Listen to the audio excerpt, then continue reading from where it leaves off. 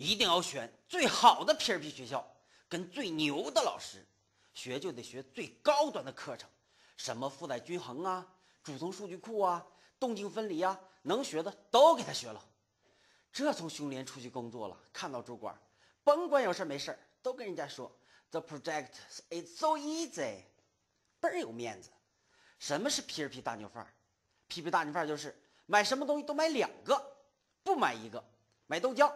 喝一碗倒一碗，就这么有个性。我们做程序员的口号就是：不求最好，但求不报错。大家好，上一节课呢，咱们介绍了 Bro P P 的一个呃比较常用的一个功能是自动验证。那这节课呢，咱们来介绍 Bro P P 其他部分，也就是剩余部分，咱们都在这节课介绍，包括的内容有像。呃，缓存设置、调试模式，还有内置扩展类库和自定义类呃扩展类库。那咱先看一下自定义扩展功能，也就是咱们在 MVC 模式中，咱们说的 model 指的是呃对业务流程的处理。那么这个处理过程呢，有百分之八十是针对数据库表的一些操作。那咱们刚才介绍的 model 中呢，就是前面咱们介绍过 model 中那些常用的方法呢，都属于呃这个百分之八十中的。那还有百分之二十的功能呢，是跟数据库没关系的，是一些呃应用上的处理。那应用上的处理呢，既然跟数据库操作没关的，那咱们就不要在 models 目录下建。那如果想使用应用类库的话，咱们最好在咱们项目中的看一下。有这两个目录，在这里边呢，我们在这里边定义的是函数，在咱们项目里框架里边，你可以扩展一些自己的类，也可以扩展一些函数。扩展的类放在这里边，扩展的函数放在这里边。那我都说了，扩展类功能我全以类的形式行不行？可以，你全以函数的形式放也是可以的。但是呢，咱们现在说了，写项目尽量是以面向对象的格式。但是 P R P 呢是一种混编的结构，既可以过程化开发，也可以面向过程呃面向对象的开发。其实这两种方式呢，呃不像呃别人说的能用对象完全用对象。其实 PHP 最好的方式就是面向对象和面向过程混合。比如说获取客户的 IP，那一个简单的一个小函数就可以解决，干嘛非得把它声明成一个类啊？但是如果这个操作比较复杂，咱们尽量把这些相关的东西形成一个类。然后通过一个对象去调用，那这个时候呢，我们就要用类来完成。所以简单的小功能就定义成函数，复杂的东西定义成类。那在定义函数的时候呢，咱们要需要写的时候要注意一点，就在这个文件下去写，不要随便新建一个文件，比如说在这里边命一个名，什么 a a 点 p h p，然后就写。原来的我的计划是这里边随便命名文件，然后通过便利目录形式把这文件都包含进去。但是那样的话效率很低，因为毕竟在做一个项目的时候，大部分使用的还是类。那最在一个项目，如果咱们是以面向对象的主体格式为开发的话，那你面向过程这些函数的话，无非是百八十个或者几十个或者几个。所以呢。像几十个、几个或者百八十个的话，没有必要把它分散在多个文件中，你只需要把这些东西都写到这个文件中行。所以在咱们框架里边，只要求你，只要是你定义函数的功能，就将函数写在这个文件里，对框架功能进行扩展。前面呢，咱们已经写了一个在自动验证的时候需要的，那你可以随便定一个，比如说 test 的一个函数，可以有参数，可以有返回值，比如说 dollar 飞 dollar b，那。我就简单写一个 dollar，因为只是介绍一下格式嘛。dollar b，比如说一个立方盒乘以平方盒吧，dollar 飞加上 dollar b 乘以 dollar b，好，就这样一个功能。你只要放在这个里边的函数，那么你可以在任何地方去应用。记着，只能在这个文件夹去写。你可以在任何地方去用，包括在控制器里边，也包括在 model 里边。看一下。也包括在 Smart 模板里边都可以调用到，只要是咱们在写程序的地方都可以调用到。比如说，在控制器里边，呃，假如说在 index 下边吧，我在这个方法里边，假如说我想实现两个数的平方，那我就直接 p 打 a，你看直接调用刚才咱还是叫 test 传一个四传个五，那我们来试一下能不能访问到，看一下。Localhost 这个下边直接仿这个方法，你看就是四十一的值，直接就调用到了呃刚才的那个函数。那在 model 里边也一样用，什么叫 model 里边用呢？比如说。在这里边，数据库操作中需要计算这些东西，那你同样可以建一个，比如说 user 点 class 点 php。当然了，这个 model 的格式咱们前面都重点介绍过。那在这里边，比如说 class user，比如说 function 里边写个 demo 的一个函数，在这里边我同样可以返回 test 这个值里边存一个呃六，存一个八，然后我在这里边调用一下。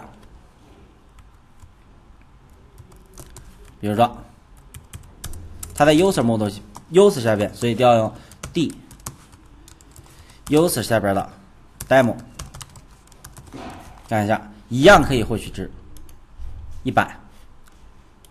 所以呢，我们定义的这个函数可以在任何地方你想用的地方用，这就是咱们为框架扩展函数库。那如果为框架扩展类库呢，同样写在这个里边，在这里边命名一定要规范。所有的命名为了 Linux Windows 扩展相同的话，所有的文件名在咱们框架里边都是建议小写的。比如说，我定一个呃，咱们随便写的类 my class，然后命名方式呢一定点 class 点 php。那假如说我这块再有一个类，比如说 my demo 点 class 点 php，你可以一个类一个类就放到一个文件中。这是咱们自动加载的时候可以加到，不要把所有类往一个文件放，这跟刚才那函数库呢是有所区别的。比如说 my class 这个，那我就可以定义 class my class 类名呢就是呃按照驼峰式命名方式。那咱这个呢每个单词首字母大写，比如这里边写个方法 one 的方法，看一下，然后写个方法 two 的方法，这里边。返回一行一，这块返回一行二。好，这就是一个普通类。只要在这建完完类之后，在咱们框架里边，你是不用写任何 include 包含的。所以呢，咱们直接就可以用到。比如说，只要我想用到这个类的话，比如说 $d 等于直接 new my class。就可以了，里边跟正常写可以有构造方法，可以有继承，怎么的都可以，没有任何变化。那现在我想使用的一个方法，调用 $d 里边的 one，调用 $d 里边的 two，两个方法，你看一下，一二都有了。当然，你也可以在这里边使用静态方法也是可以的，比如说在这里边也是一样。static 静态方法 function，咱们建议使用静态方法，能用静态的尽量使用静态的。three 返回一行三，那我们在这块儿，你也可以不需要对象去使用，只需要我们在这个地方，在这块儿，你看 p 打印一下，用 my。class 冒号 t h e three 用类名去调用，我们看一下三能不能打印出来，也是可以的。当然也可以在个类里边有继承关系，比如说继承继承当前目录下，比如说啊 my demo，看一下，这是 my demo，所以在这里边我们在这里边声明一个父类 class my demo，然后这里边。function 有一个，比如说有一个也是写个静态方法吧。function 有一个 for 四的方法，返回一行四。好，我们来看一下，在我们这里边应用的时候，同样可以在这调用谁啊？MyCloud F O U R，四，它会直接使用父类继承过来的。所以呢。只这里边唯一需要你注意的就是什么？你的命名文件的命名和类的命名，注意这些规则全部小写，然后以点 class 点 php 为后缀的。所以你项里边需要多少类，就可以在这里边写多少类。所以说，你可以为框架扩展很多你想扩展的常用功能，比如说发 email 的类啊，呃，发送短信的类啊，文件处理的一些类啊，都可以放在这下边。你只要以后工作的时候不断总结自己常用的功能类往这里放，那你在做任何项目的时候，只要一调用就可以了。那除了可以自己添加，当然了，在咱框架里边，我给你提供了一些常用的内置扩展类库。内置了几个常用类库，当然了，这几个作用跟放在这个目录下一样，只不过我把它放到了一些常用的功能，放到了框架里边的 class 目录下。你觉得放在这儿？因为咱们这是有个规则的，只要是放在这个目录下的，都属于框架里边的，在这个框架之外是允许你自己去写的。但是咱框架是开源的，你也可以自己去写。那如果这个类，假如说我完全可以把这四个常用功能类。假如说觉得哪不好，在这里改，或者把它剪切到哪儿去呢？剪切到咱们这个目录下，作用是一模一样的，只不过这些现在在框架里边是写好的，提供了这四个常用的类，分别是文件上传类、图像处理类、还有分页类以及验证码类。那好，咱们就按守则顺序依次来看一下这几个类。这几个类呢，其实咱们在前面呢有。一些类咱们已经介绍过，所以咱就不介绍这几个类的写法了。那大致呢，咱们就来，呃，直接应用这几个类，也不用去包含，放在里边都是直接可以包含过来的。我们只要直接使用就可以了。比如说，我们来先看一下分页类。那分页的功能咱就不用说了，因为课程已经到这儿了。那分大家对分页肯定是已经非常了解了。那我们来看一下怎么使用这个分页类。嗯，这样我用一个，呃。具体的一个例子来用吧，把这几个都关掉，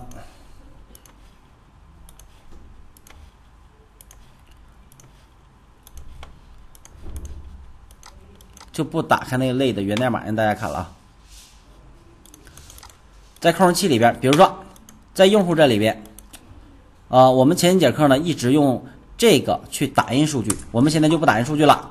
你看，我先做一个列表，dollar 符。User 等于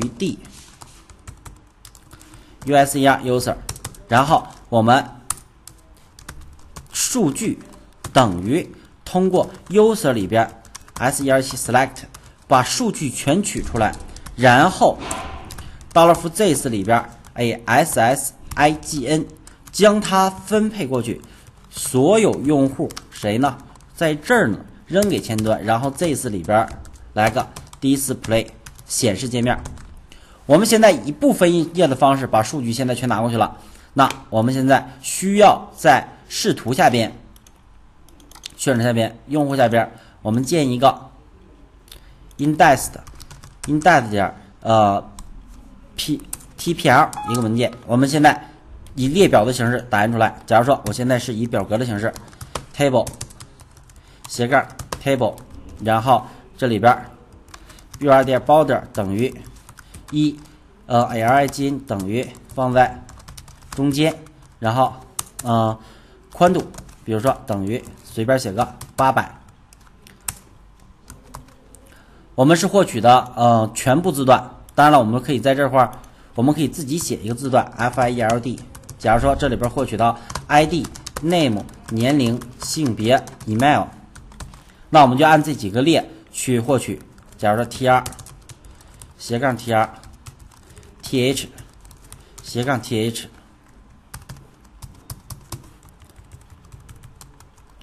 id 呃名字年龄性别 email 这是具体的列，然后我们用 for h 你可以用你可以用 for h 也可以用 section 去便利 for h 斜杠。For each，然后这里边便利呢？便利是 users 这个数组作为每一个用户去便利，然后循环一次这里边输出一行，然后这里边用 td 斜杠 td dollar for user 里边的有 id name 年龄、性别、email。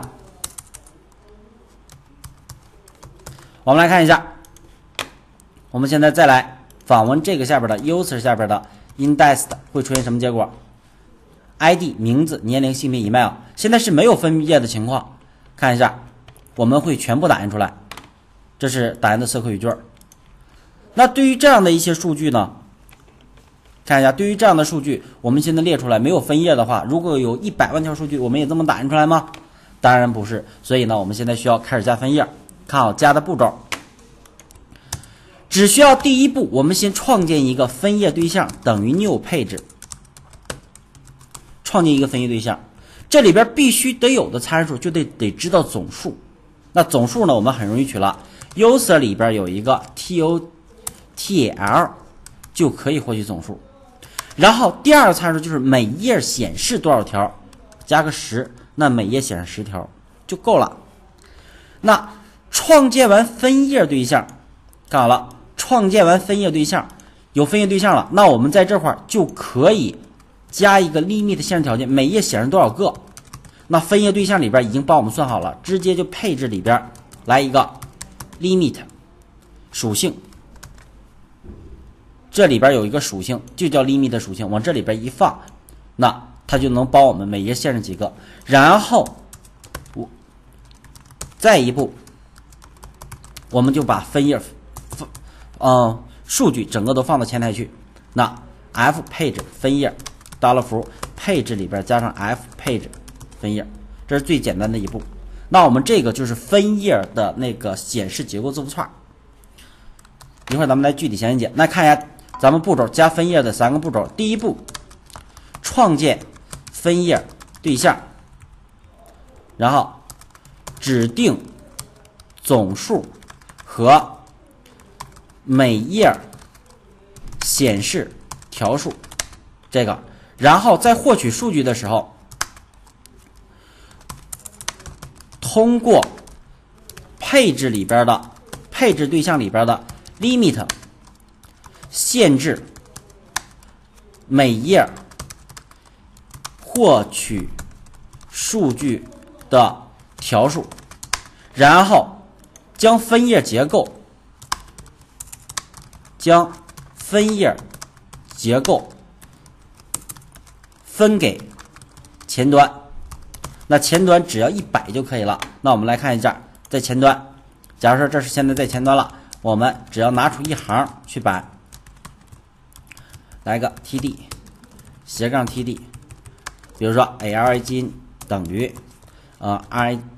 g h t 放在右边，然后呢 S U L S P N 让它列等于五列，然后我们只需要在这块儿将分页拿过去，请 f 配置，看一下，这个就是分页结构，刷新一下，看分页就有了，这是默认的分页结构。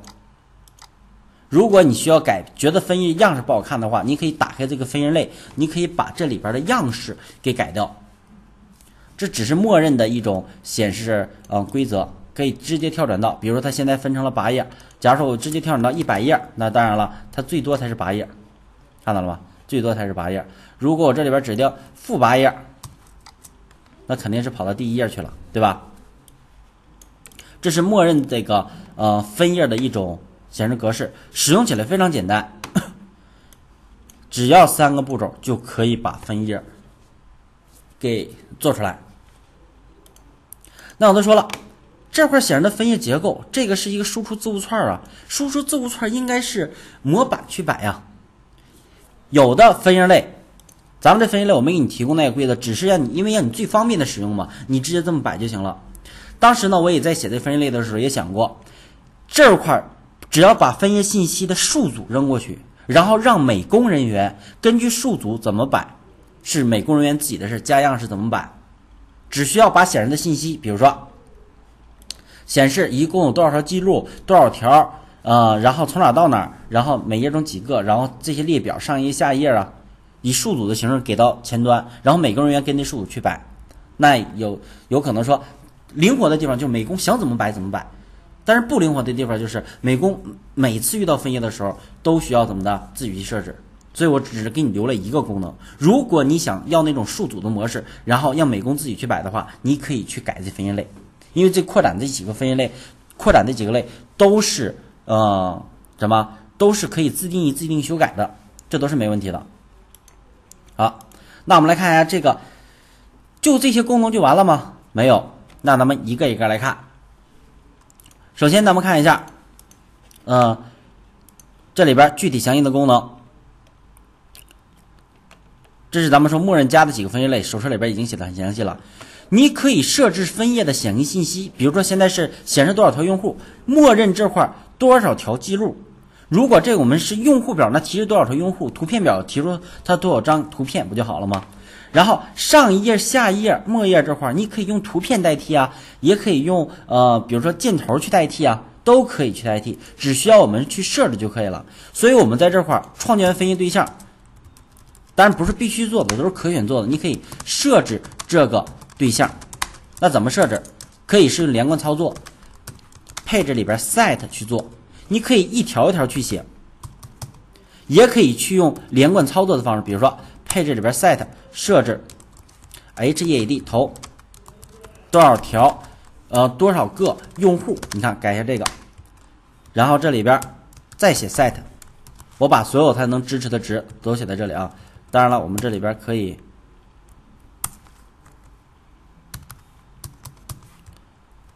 连贯操作写在一行里边，可以设置，比如说 FRST 第一个 first 的显示，那咱们就可以用。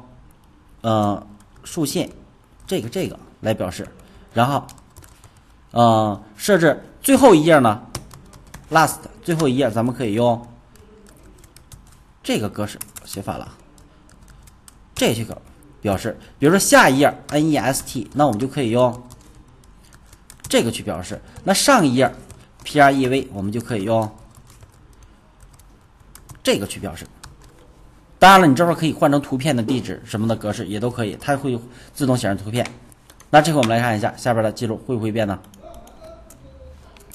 刷新一下，看一下，这块显示了共有七十个用户，这儿变了。然后本页十条，一到十八页，然后你看下一页、下一页、下一页，看到了吗？就不是显示首页、末页、上一页、下一页，而是变成了这种箭头的方式。那这是可以设置这个。当然，你不用全设置，你设置部分都是可以的。当然，只要记住这里边的属性名称就行啊。当然，没用数字，你就直接一共就五个单词，嗯。然后设置分页的显示顺序及内容，看好了。在咱们分页类里边这块一共分几部分呢？这是一部分、两部分、三部分、四部分。这俩是五部分、六部分、七部分、八部分，正好是一个八进制，也就是从零到七。如果我想不想显只显不想显示这个，那就看一下，在这里边我们可以使用零到七的七个数字。那看好，我想显示哪个？这是零，这个我想显示，记住是一个零。然后这个不要，这个不要。要这个，那就是零，这是一，这是二，这是三，那是零、三、四、五、六。我就想显示这几个，那只需要我在这块传递一个零、三、四、五、六，用逗号隔开几个参数就可以。对应的顺序，你想显示哪部分，在这块就写哪部分的数字，按顺序查零到七的。那好，我们现在再刷新一下，你看。共七十个用户，然后本页是这个和这个，而且你还可以改变顺顺序，比如说我在这块儿零三四五六，那我可以把呃看一下把哪个顺序调，比如说我把这个部分放到最后去，因为每一部分你可以让它按顺序显示，把这个放在三放在后边，看一下，刷新一下，你看共七十一个用户，上一页下一页。然后六页中的八页，所以既可以指定显示的内容，也可以指定顺序，就按这里边的顺数字顺序分解分解就可以了。这是咱们呃这个位置，另外还有页面跳转添加附加资源。前面我跟大家说过，只要是从一个页面转到另外一个页面，只要有转的动作，那一定要做成一个东西，干嘛呢？让能将这个页的数据通过你跳转的这个方式传到下一页，这是非常好用的。后边咱们在做项目前的准备的时候，我会给大家具体讲这个多搜索功能加分页。那这个时候呢，就需要在这块加一个参数。看好了，new 配置之后还有第三个参数。你这里边也是 pass info 的格式，你就能将本页的数据传过去。比如说，我传一个，嗯，传个 one 的值是一，传个 two 的值是二，就相当于传变量 one 等于一，two 等于二传过去。那这样的话，我们在做分页的时候，就能将这两个数据传过去。你看，现在我点第二页的时候，看一下，除了 one 等于一，two 等于二，配置等于二。点第三页的时候，点第四页的时候，第五页的时候，都可以把 one 等于 two 等于二，在分页的时候，从第一页面转到下一个页面的时候，把数据带过去，这是必须得有的功能。咱们前面讲过的那个成功的跳转也好，错误的跳转也好，加上这分页也好，在框架里边就这么几个跳转：重定向、错误跳转、成功跳转和分页。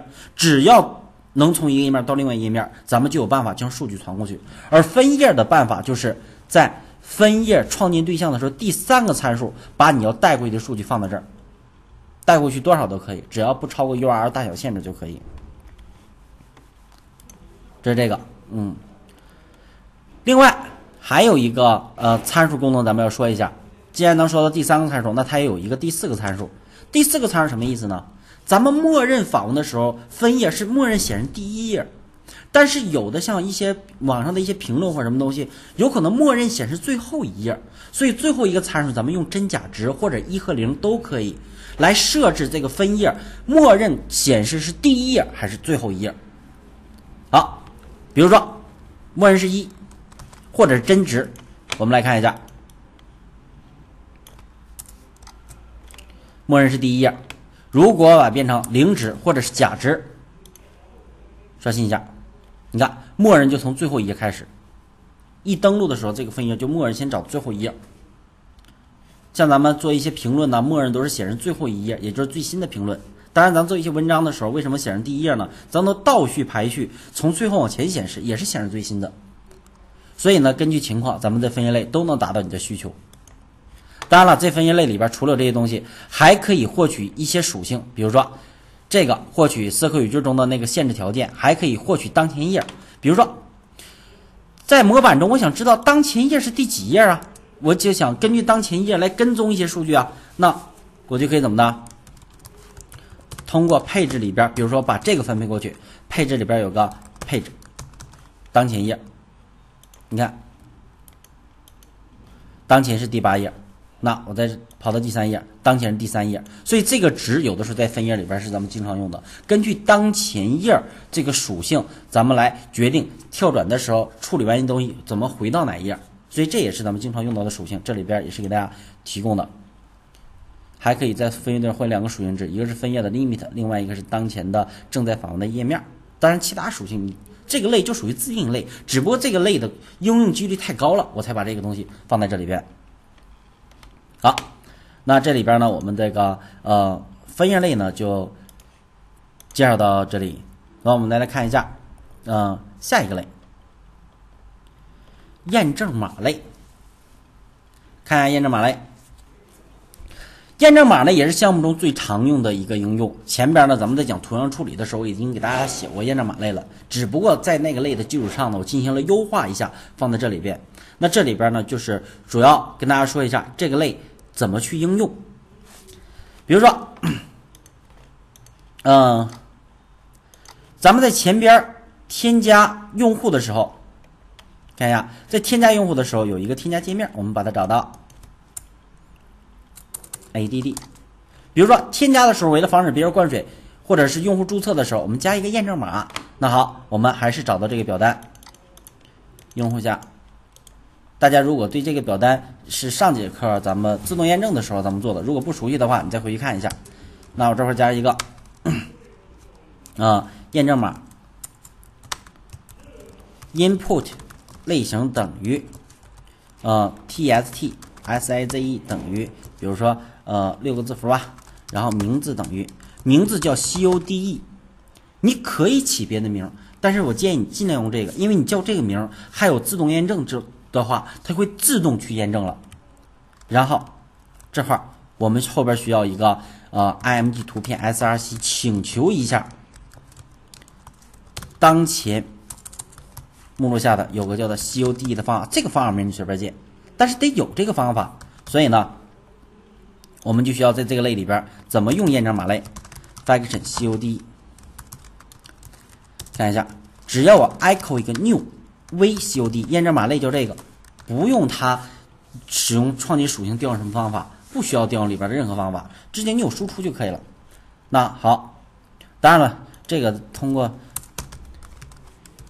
我先把这个关一下，后边我会介绍一下为什么要关掉这个。然后，当然不关也是可以的。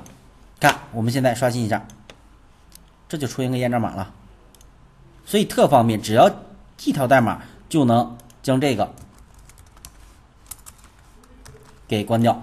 然后我们刷新一下，然后再变化，这里边输入，你看是不是自动验证的呢？我只要添加的时候，你看验证码它输入错误，有自动验证的情况下，直接就会验证。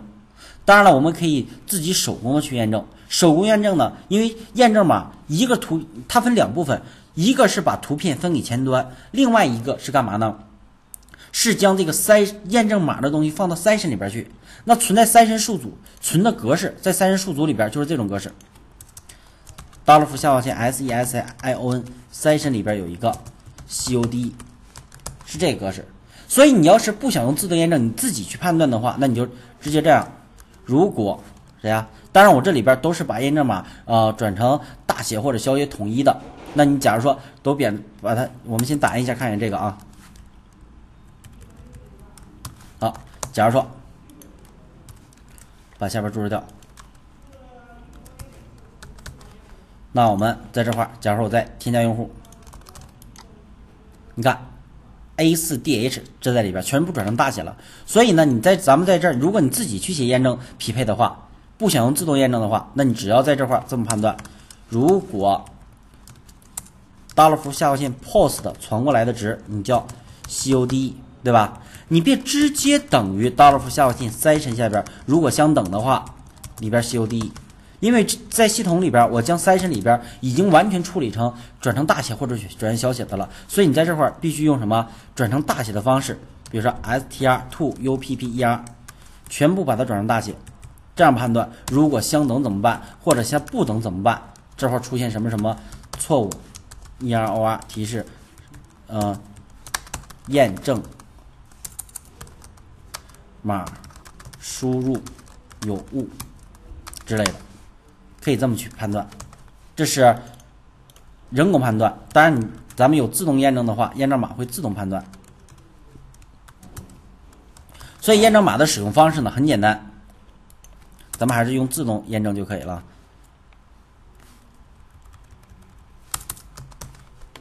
只需要在这块儿我们创建一个对象，然后在这里边啊使用图片 SR 七名字叫这个，属性值叫 code，只有叫 code，因为。咱们才能自动找到。如果你随便命名的话，我也不知道表单里边你什么哪个表单项是验证码，所以只要用到这个，还有自动验证就会，呃，自己去写。然后呢，大小写不区分。那我就给你这块直接写全一些吧。如果我看不清想换一张的话，看不清想换一张的话，那我需要在验证码这块直接加一个谁啊？直接加一个 on click 点击的时候调用。让 this 里边 src 再等于谁呢？dollar f u r u r l 本模块下边的 code，这样的话我就可以点一下，重新的请求一下这个方法，用它重新获取一下那个验证码的图片。但是这个现在这么做肯定不好使，因为咱们浏览器咱们都知道有一个呃缓存的机制，只要这个图片已经发送过来了，你再点击看一下。同请求同样的一个地址的话，它就会进行缓存，所以这样它每次都是独立的访问，所以咱们后边得尽量加一个随机数，比如这块让它每一次 U R 都不同。但是前面请求还是这个方法，所以我只需要加一个随机数就行了，math 点 random 运动随机数，刷新一下，你看，每点一下就会换一下。然后这里边想让用户知道是区分大小写的，也有办法，怎么办呢？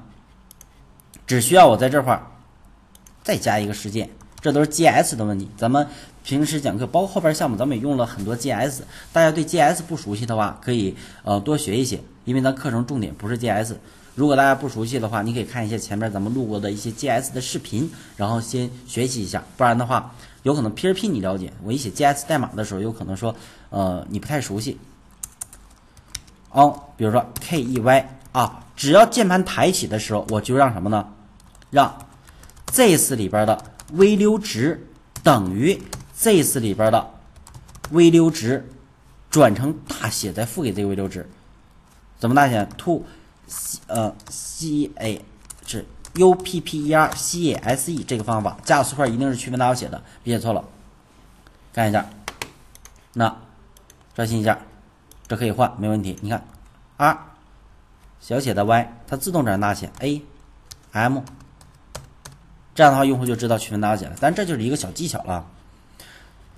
那这就写完了吗？没有。如果按刚才的那么写的话，你看我方键回不来，因为任何一个键抬起来，它都重新设置一下，重新设置一下，那肯定，呃，这个焦点就放在最后啊。所以呢，如果已经是大写的了，我就不重新设置了。这样的话，这个焦点就可以回去。所以只有不大写的时候，咱们才去将它转成大写。所以咱们这块只需要做一个小判断就可以。你看啊，如果这次里边的微溜值等于是大写的微溜值 to u p p e r c s e，你看啊，如果是相等的，我们设置吗？错了。如果是不相等的，也就小写和大写是不同的情况下，我才去重新设置，把它设成大写。如果是相同的，那就全是大写的。全是大写的话，我们就去不设置。所以这就能解决鼠标不能移动的问题，就是焦点不能移动。你看，现在焦点就可以移动，删除删除，就可以解决这问题了。所以验证码这块，咱们尽量大家用的时候按这个方法直接就可以加上。这是验证码。当然，验证码的，呃，什么地方应用就不多说了，因为前面咱讲过图像处理的时候，已经先跟大家说了，就是给机器看的，而非人给人看的，这是是给人看的，而非给机器看的啊，说反了，嗯，这验证码。那我们再来看一下这个，呃，下一步，图像处理，图像处理这部分。那对于图像处理呢？呃，在讲图像处理之前，咱们先看一下，就看这个图像处理吧，然后再看文件上传。图像处理呢，分为三部分，也就是缩放、加水印、缩放加水印以及剪切。缩放大家都知道，因为咱们优化呢，有一部分呢，不光优化，不光是优化代码，因为代码上没有太多可优化的余地，顶多提高几倍而已。但是内容是最重要的一个优化的一个手段。而图片呢是最主要的一个内容，所以呢，现在有很多用数码相机照的东西，那太大了，放到网站上实在不实用，所以咱们要一定上传的网站的东西都要去缩放。那缩放，比如说我现在找一个图片，嗯，这里边比如说找一个，咱们有没有什么图片？这里边随便咱们找一个图片，比如说这个，放到咱们项目里边。假如说咱们文件上传，嗯，public 下边，假如说已经上传到这里下边了，这图片名我起个名，叫做咱们各种类任何类型咱们都可以操作，在基地库咱们已经讲过，什么格式都可以，但常用的格式不就 JPG、GF 和。呃，和 PNG 嘛，那这些格式呢，各种应用技巧在类里边都设置了，你直接用就行了。比如说，我将它它是八百乘六百，那我只要是上传的图片或者处理图片，我都要它将它缩放，那怎么办呢？比如说，我再写一个方法，里边 test 测试的一个方法，在这里边去缩放，那只需要我创建一个图片对象，new 一个 im 以及就可以，你只要在这块进行，比如说这块我。P 打印一下吧，因为它输出的是缩放后的一个图片名里边 T H U M B 缩放，第一个就是图片名称，当然图片位置，图片位置你在这里边可以传一个图片位置，比如说这块是呃当前目录下的呃 public 下边的这个位置一定记得是主入口。因为咱们前面这块已经说过多次了，是相对于主入口文件下的 public 下边，因为在 PHP 处理图像跟前端没关系，所以用的路径你不能用呃 Web 服务器跟路径，一定要针对 PHP 的跟路径。up l o a d s 下边，比如说图片名咱们叫做万点 JPG，也就是这个图片。好，我现在将它缩放，那这块只需要传一个路径就可以啊，你不用传图片名路径。然后呢，我这块可以传一个什么？传图片名对哪个呢？对 one 下边的，看一下，对 one 下边的图，呃，one 点 jpg 对这个图片进行缩放，变成四百乘三百的，当然它会等比例缩放。你比如说二百，它最大不会超过二百。然后第四参数呢，缩放完之后，如果想把原来图片覆盖，那你这块直接加个空，它就跟原来图片名一样了。默认它也也会有一个 T H 下划线的前缀，那比如 T H 一，我缩放成几张？比如说，呃，五百、三百、六百、四百，随便写的一个比例。那名称呢是二、十三。那只要我们一访问这个 test，跟前面咱们写过的图像处理类是一样的，所以这里边咱们就啊不用多说。你看，one two。然后咱们看一下这图片名，四百乘三百，五百等比例缩放啊。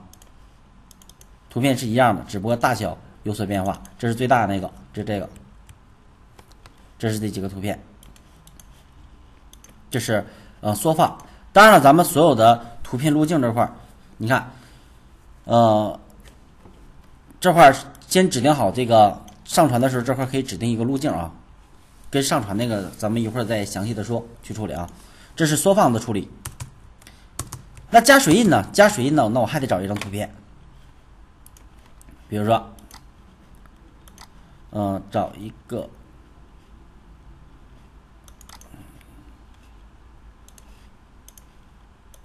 图片收藏，比如说就这个 BBS 这个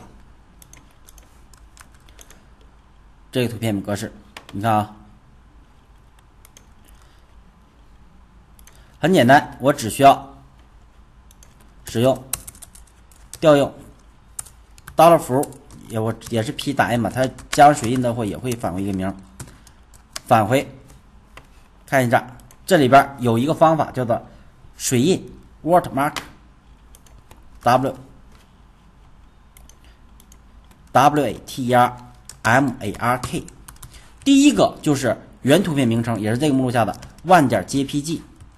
第二就是水印名称，也是这个目录下的 bbs 点 gf，什么格类型都可以。第三个就是加的位置，咱们不有九个位置吗？分别是零是随机位置，在，然后顺序是这样的，零是随机位置，然后这块图片是呃一、二、三、四、五、六、七、八、九。如果你想它在呃右下角的话，就指定九；左上角的话，那就是呃指定一；想在中间的话，就指定五。比如说现在我想在中间，那这块我指定一个五的位置，然后生成完水片水印的这个图片，让它新生成一个 W 一下划线 GF。比如说我再声明几个，在呃六的位置，在七的位置，就随便。指定了几个名称而已。假如说六这块是七的位置，然后，呃，当然了，这个水印图片我不一定非得用这个，比如说也不一定非得在这个目录下。假如说我再找一个图片，呃，找一个小点 PNP 点 JF。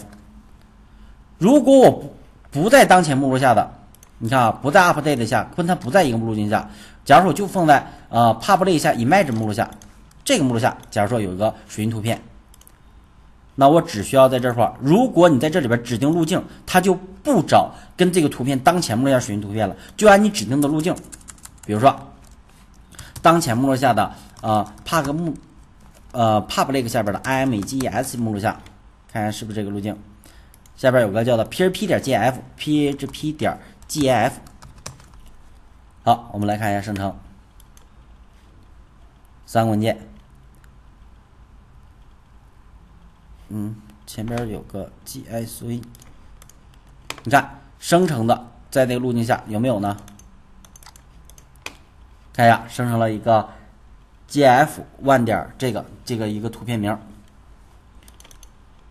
在中间，在六的位置，在七的位置，七的位置是用 PHP。这文件名前前边怎么加了一个？啊，这块 W 七这后边都加了一个 G F 啊。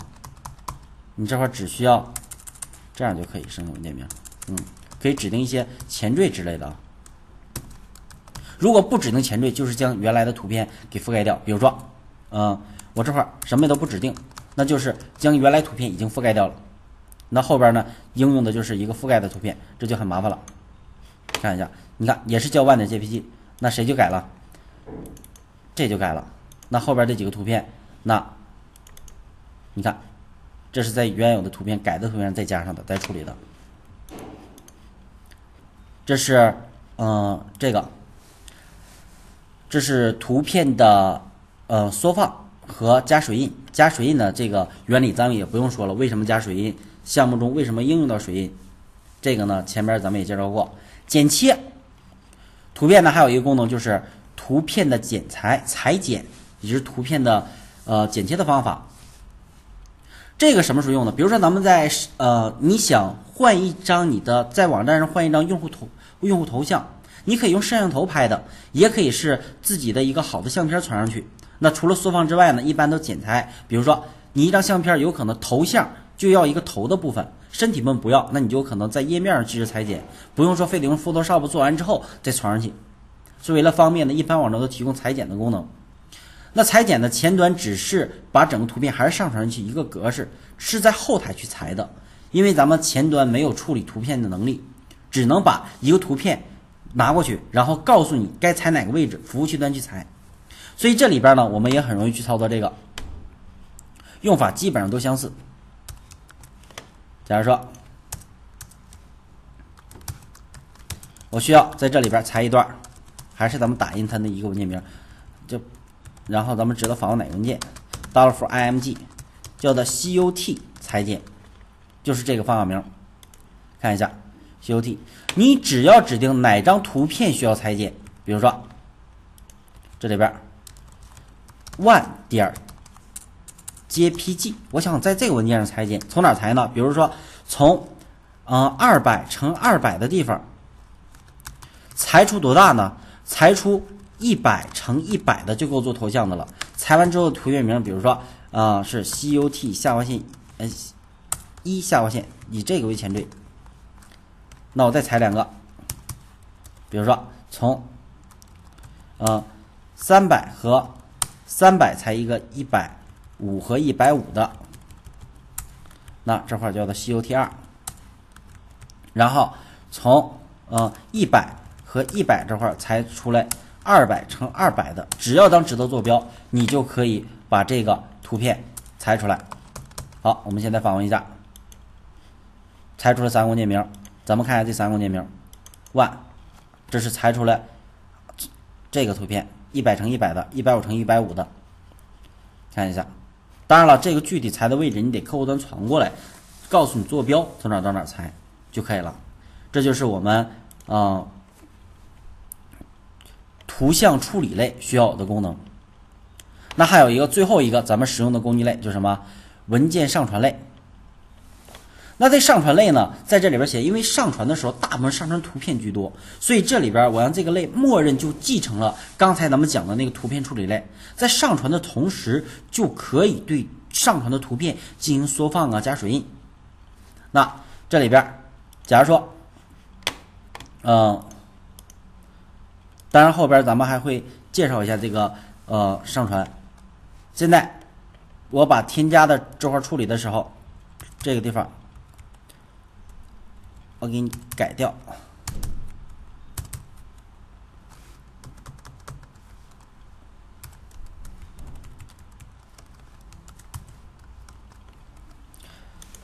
我存一下。那要想文件上传的话，表单得处理了。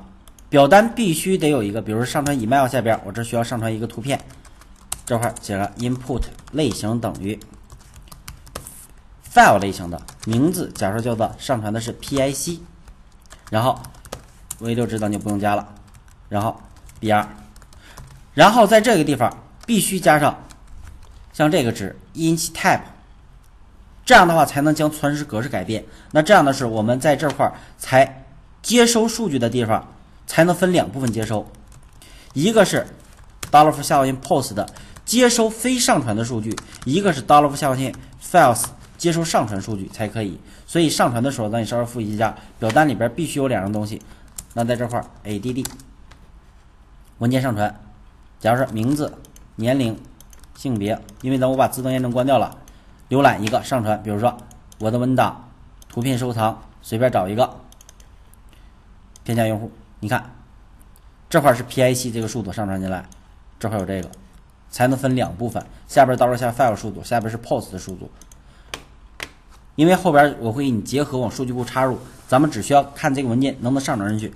所以想做上传比较容易，只需要我们在这个地方做什么？做一个 up 等于 new 一个，呃，文件 up load 文件上传。这里边可以指定上传的路径。如果你不指定任何路径，默认就在 public 下边的呃 uploads 下边，你可以指定路径。除了在这指定路径之外，咱们还可以有设置属性的方式指定路径。所以指定路径这个问题咱们很好解决。我先用最简单的方式，先把图片上传上去。比如说，判断如果 dollar for up，咱们使用这个上传，使用这个里边有个 up load，只需要传哪个表单名就行。PIC 是咱们那表单名，如果上传成功的话，那我可以打印一下 dollar for up 里边用这个 get file name 获取上传后的文件名，上传后的随机文件名。否则的话，如果上传出错的话，我可以用这个 double up 里边有一个呃 get errormsg 的方法获取它上传的错误提示，就这么简单就可以上传了。那我们来试一下，可不可以呢？刷新一下，因为其他地儿我就不处理了，咱们只是演示这部分。比如说，在这里边，我把呃这个图片上传上去，点添加用户，你看这是点击的随机文件名，上传的文件在哪儿呢？看这就是随机文件名，就上传上来了。这就是呃咱们文件上传比较简单的一个方式。但是文件上传不光是这么简单功能，有很多咱们可以设置的。比如说，咱往下看。可以设置这么多属性，看一下上传的时候。当然，单个上传和多个上传都是一样的。一会儿咱们演示完，咱们再设置一下。可以设置哪些呢？你在上传的时候可以用 set 方法，可以设置上传的路径。比如说，当然上传路再拎一下，这个上传路径必须有写的权限啊。pass 里边路径是哪呢？比如说在当前目下 i。呃，public 下边有个 imgs，我让它往这儿传。当然也可以连贯操作了，up 里边 set 上传的时候，我可以设置呃尺寸，比如说上传的尺寸不超过呃一兆。然后我可以设置上传的类型，你可以连贯操作 set，最好连贯操作一行写一个，这样我们将来写注释的时候好写注释。比如说上传的类型 type。那类型可以指定多个，咱们就一个数组。比如说，只允许 GF 类型和 PNG 类型，不允许 JPEG 类型。那我们就可以在这设置。当然了，我们还可以设置它是否随机文件名，set RAND 呃 INDOM 随机的。这块啊，啊 as rnd name 随机文件名。这几个尺寸属性我写错了，最大尺寸 A R O W 允许类型不区分大小写这些属性啊，在这里边我都给你设置过了，你可以任意这些，是否随机 name 随机文件名，随机名称。假如说我这块写个甲，就不让它随机，当然最好是随机。这个文件名称呢有很多作用，咱们设置这个文件名称，一是能看出时间，另外呢，呃。后边的三位随机数呢，可以让它在同一秒上传的时候防止覆盖。然后呢，位数是固定，数据库可以用叉去存这个文件名称。另外，通过文件名，它有年月日时分秒的格式，可以将上传的文件路径放到不同的目录下。比如说，把今年的图片放到一起，或者今年当月的每个图片放到一起，这样的话咱有利于优化。那后边介绍优化的时候呢，我会详细跟大家说。那这里边就不多介绍了。所以通过这个文件名称，你就记住可以将这个呃图片指定到任何想指定到的按时间分批管理的目录下，也可以通过三位随机数指定到不同的服务器上。这样的话，对批量上传的大量的数据的话，咱们都可以用一些分目录设置。好，咱们先呃简单指定这几个属性，看一下是不是可以成功。浏览一下，假如说 PNG 的图片上面未允许类型，这里边咱们只允许 LW 类型，允许 GF 啊，这里边是两个参数 PNG，因为数组嘛。再浏览一下。好上传上去了，PNG 的图片，你上传的什么格式？我这里有个什么格？这里边没有了，那在哪儿呢？在 IMG 下边，你看有个这个图文地图，然后这块是否是随机文件名？这个属性好像我写错了，不然的话不能用这个 is ind name 没有 dom，ind name 变成假，那我再重新上传一下。浏览，好，是不是就是 A 点 PNG 啊？上传上来就是 A 点 PNG，所以咱们是指定路径和限制类型呢，咱们都好使了。那限制类型，你现在传一个 JPG 的，那它就不会让我们上传了。比如说，我找一个 PNG 的，嗯，比如 JPG 的这个，它是未允许的类型，就不让我们上传。那除了只能这些东西之外，这些类型之外，我们还可以直接对上传的图片进行缩放，也只需用 set 设置，up 里边用一个 set 设置，设置什么呢？看一下，呃，设置 thumb 缩放。那这块儿你只需要在第二参数里边指定什么？指定缩放的，用一个数组指定宽度和高度和新的文件名就可以。比如说，这块指定。缩放的宽度不超过三百，只要上传图片让它缩到三百以里，高度让它也是三百以里。你看一下，因为它是默认这个类是继承图片处理，所以图片处理有那个缩放加水印的方法和切和剪切的方法，这里都有。直接上传的时候，这三个事儿全可以处理了。现在你看，我上传一个图片，它就会缩放到三百以里。浏览，比如说，咱找一个比较大一点的，嗯，这里边随便找一个，这个啊，未允许类型，咱们类型里边没允许 PNG，加一个吧，未允许 JPG，浏览，随便加一个，好，你看这个三百乘二百二十五，就直接缩放出来了，那也可以直接就加上水印。你看啊，直接在这 dollar for up set，嗯，w a 嗯 w a t e r m a r k 水印 a r y，那指定一个水印的图片 WTR，水印的图片，比如说是。呃，当前目录下有个叫做 PRP 点 GF，只要上面你指定什么路径，它就在当前目录上找。如果你在这儿也指定路径，就会按你指定路径去找。然后呢，水印的图片的位置，比如说是呃五，那我们来看一下，再上传一个图片，浏览，还是这个，添加一下，你要把这覆盖到了，哦，这块好像。看一下啊，水印。P O S I T L N，咱们这块位置的话，你得自己指定一下。位置。P O S I T L N，看一下用这个。位置的词，咱们刚才因为必须数组都得指定下标。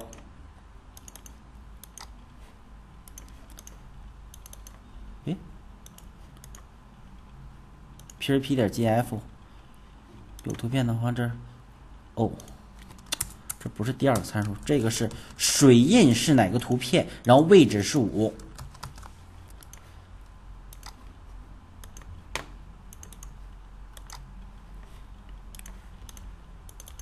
好，P R P 就放上去了。看来咱们时间比较长了，也该休息一会儿。来，马上咱们这个就结束啊！你再呃忍一下。当然了，我们这个缩放加水印的时候，你还可以指定什么呢？还可以指定它的前缀，比如说 P R E F X 指定前缀的名。这样的话，我们在设置的时候呢，你可以把前缀这个东西呢。呃，也加上去。假如说我这个指定缩放的时候，加个名称叫做呃 th 一下划线，这是前缀。那我们再来浏览一下，添加，就加上了一个指定的前缀，就不会把原来的图片给覆盖掉。好，这就是我们常用的几个类，这几个类操作手册。都很容易实现，这只是提供四个。当然，你要假假如说你想用四十个类或者五十个类，那你就需要自己总结，放到框架的这个 class 目录下也行，和前面讲自定义的放在那目录下写也行，都可以啊。当然了，除了这个呢，咱们还有一些像缓存设置啊，缓存设置的功能，比如说缓存呢，咱可以通过 memcache 设置。呃，memcache 咱们前面也讲过，对于咱们项目里边呢。呃，最大的优势呢，就是缓存咱们做的比较好。就像，当然我机器里边呃，我不知道装没装 memcache 啊，嗯，应该没装。如果装了 memcache 的话，咱们框架里边你只需要在这块儿。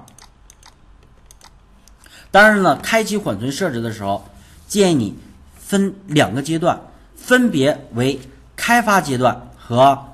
呃，上线阶段，如果是开发阶段，尽量将所有的缓存全关闭掉；如果是上线呃上线阶段，把缓存能开启的都开启。因为开发阶段你要开启缓存的话，又会对你开发有些不利，用到一些缓存的结果，这样的话就不太好了。那如果想使用 memcache，你只要将这个开启。如果一台 memcache 服务器的话，开启这个；如果有多台 memcache 服务器的话，你就开启这个。开启这个，用数组设置哪台服务器哪个端口，这是开启一台和多台。那开启 memcache 它什么会缓存呢？只要是你查询过来的 c 客语句，结果集就都会缓存到，呃，都会缓存到什么？都会缓存到内存里边去。就像，呃，假如说我访问一下这个 localhost 下边的 brocms。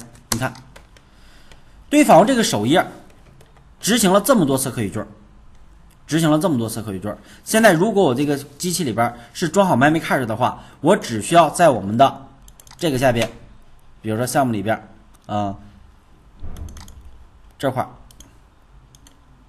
把 memcache 服务器一连接，那我现在再刷新一下，再刷新一下，它会把这次刷新。就会把所有的数据存到内存了，而我再刷新就会从内存里服务器内存取数据，而不会从数据库里去取，减少连接数，减少 SQL 请求，效率能提高 N 倍。当然了，我这个是没开启，你看刚才是开启，呃，没有开启缓存这事儿，PHP 没有安装 memcache 扩展，请安装。我这机器环境现在没有。